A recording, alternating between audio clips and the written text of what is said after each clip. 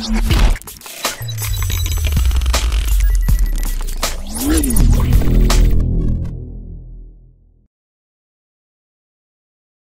Queen has been dragged into a financial scandal after it was revealed around £10 million of her money was held in an offshore haven. According to leaked financial documents known as the Paradise Papers, the Duchy of Lancaster estate has invested her funds in the Cayman Islands as well as in Bermuda, and some of her money went to BrightHouse, a rent-to-own company which sell appliances and furniture and offers lending agreements to customers. There is no suggestion the Queen is not paying tax, and experts have said the investments are legally sound. The Duchy has since explained it was not involved in decisions of the company, and there is no suggestion Her Majesty had any knowledge of the investments made on her behalf. We operate a number of investments and a few of these are with overseas funds. All of our investments are fully audited and legitimate. A spokesperson for the Duchy of Lancaster reportedly told the BBC that Dover Street investment was bought in 2005 and forms only 0.3% of the total value of the Duchy. The Duchy's investment in BrightHouse is through a third party and equates to £3,208 just 0.006% of the Duchy's value.